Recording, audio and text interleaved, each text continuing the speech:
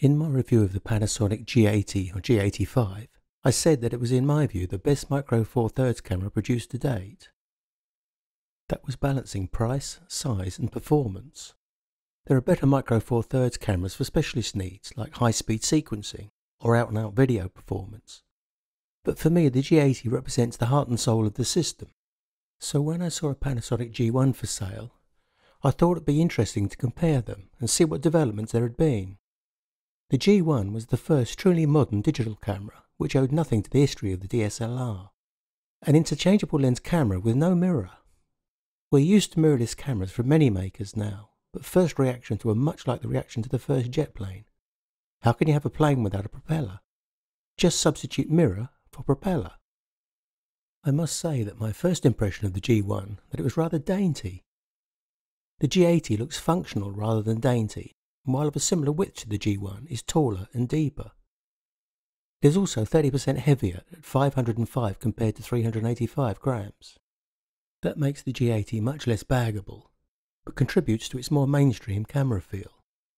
The control layout has evolved considerably, with the G80 packing far more functionality onto the camera back while at the same time contriving to make it feel more spacious. The top plate has changed too, the G1's combined exposure and drive mode dials being split, and the focus lever moved to the back. Notable by its absence on the right of the G1 top plate is what is now standard on all Micro Four Thirds cameras, the red dot video button. That was an eminently sensible design decision on Panasonic's part, since the G1 doesn't do video. While the G80 has five physical function buttons, G1 has only one, and it offers a very limited though well chosen range of options. The same applies to the quick menu, which has fewer options and works in a rather clunky way compared to its descendant. In spite of what I say, there is nothing in the functionality that makes the G1 difficult to use. On the other hand, I can't find any change on the G80 that isn't for the better. Where the G80 has Panasonic's now standard menu system, the G1's is as you would expect less comprehensive. In layout and logic though, even this primordial version is well planned. It has a My Menu section, which is one of my favourite features of the Panasonic GH5. I was disappointed to find that unlike the GH5s, you can't populate it yourself with your most used items. Rather, it keeps track of which five menu entries you access most often and populates it with them. I can see why they dropped it subsequently. Accessing a menu not knowing whether you will find what you are looking for is frustrating rather than helpful. And what happens is, you don't use it. The film mode button on the top is a waste of space. On the G80 it is renamed filter settings and resides on the menu. I think that may have come about because photographers took the G1 rightly for a serious camera, and most serious photographers would regard the filters as fun but not core to their work. The monitor detail and colour is much better in the G80, as is the EVF, which is also considerably larger than the G1's though the G1's is bigger than today's GX80, so perfectly acceptable. It makes the G80 much more pleasurable to use. Where a DSLR user considering a Micro Four Thirds camera would be unconvinced by the G1's EVF, they might well be convinced by the G80's. The area where I expected most progress to have been made was in the camera performance, and I wasn't disappointed. The single autofocus of the G80 is uncannily fast even in dim light. This is literally a point and shoot camera. The G1 single autofocus is less confident, but nonetheless perfectly usable and was faster than most DSLRs of the time. It is slower in action than the G80 and has a tendency to hunt for initial focus.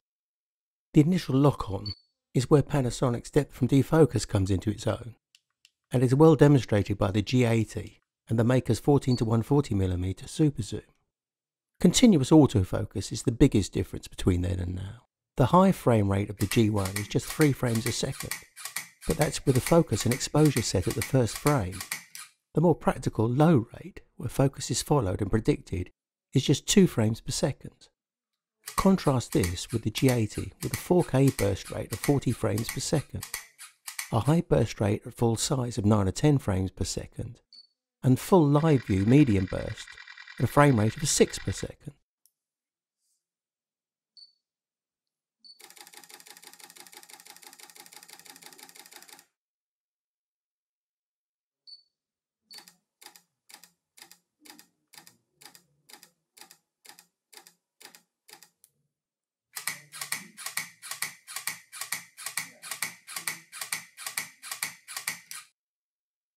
At the medium burst rate and viewed at normal size, the G1 had 7% of frames unusably off focus. The G80, shooting at three times the frame rate, had fewer than 1% unusably off focus. This test gives a good idea of what's going on because using the one focus area square, it is easier to keep the focus point accurately on the car. The hit rate drops at 100% viewing with both cameras of course, but the 7 to 1 G1 to G80 performance ratio stays much the same. These bursts were shot at 1600 ISO at about a 4000th of a second, and the G1's results are noticeably less clean and detailed than the G80's too. One thing that occurred to me when using the G1 was how relatively simple its menu system was. It has only 69 menu items, partly because of the lack of video, but even so the G80 has nearly 200 of them. The G1's top shutter speed, at 1 4000th, is the same as the G80's, but there's no electronic shutter, which on the G80 enables it to go all the way up to 1 16,000th. The G80 shutter is a lot quieter too, and you have the option of the electronic shutter for silent operation if required. In terms of the design, both are quite attractive, but I prefer the G80's more angular look. And although the size difference is small, the G80's height and better hand grip gives the impression of a much bigger, more spacious camera than the G1.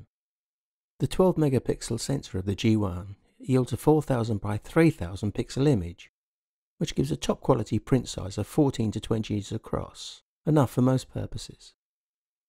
The G80 extends that to 4592 by 3488, or a print of roughly 16 to 24 inches across, usefully bigger, but usefully better quality too, since I found the noise performance of the G80 about two stops ahead of the G1.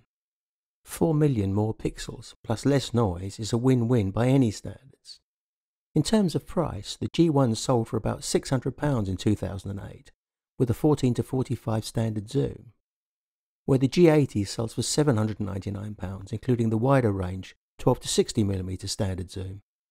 A price hike of 25% in nearly 10 years doesn't seem too bad given the better lens and specs, and is actually much the same allowing for inflation. Whereas you can buy a G80 body only today, you couldn't buy a G1 body only. It was for a good reason, because a body only would have been pretty useless then, given that the only general purpose lens available was the G1's kit lens. The 45 to 200 telezoom was released at the same time.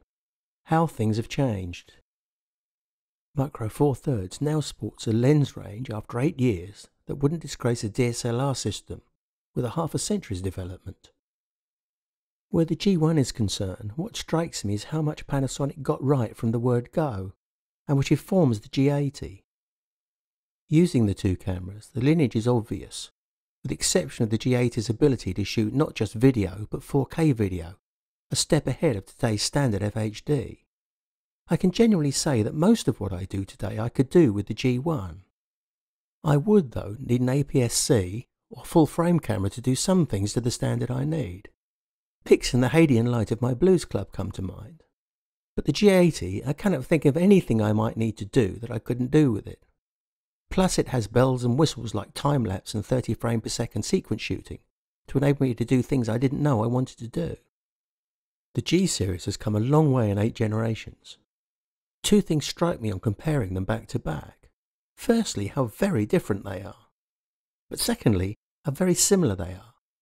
Thanks for watching.